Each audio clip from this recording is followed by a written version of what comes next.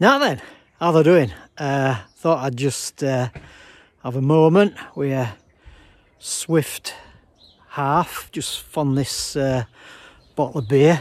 It's proper Yorkshire beer, proper Yorkshire beer and all in shed.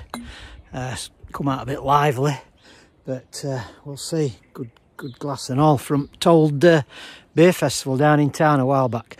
Um, thank, thanks for comments on that via Twitter. And apparently, um, it, it were a bit energetic for some of your lot. Uh, apparently, lots of your youngsters now are into that their um, mindful mindfulness. Uh, so I've done a bit of research on that there Wikipedia and that Google, and I found that uh, you need some tips on mindfulness apart from beer. I'll have a swig of this later. It's not looking good.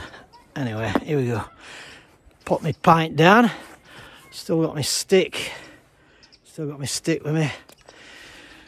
Right, so um, mindfulness. I think there's quite a lot of uh, lot of this. Hmm. Hmm. Hmm. Lot, lot of this looking up at skylight. I'm still looking for house martins. And swifts ain't seen none yet. Since swallows. Ain't no swifts yet. Anyway, so there's a lot of looking up.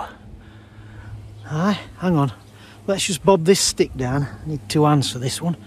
And then there's this one and all.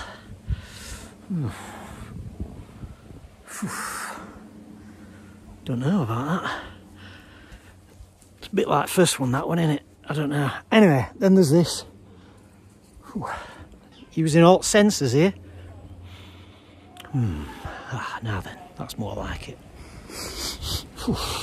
Hang on, I know something better than that. Now you're talking. Anyway, I've some jobs to do before I go. So uh, I've got I've got to find Primrose first. Uh, he's gone a bit daft after other week when we won Grand National. Remember we recreated Grand National in Garden. So I've got him to find and uh, feed him. Then I've got Coil to get in and uh, I can put my feet up and uh, maybe do some more pondering.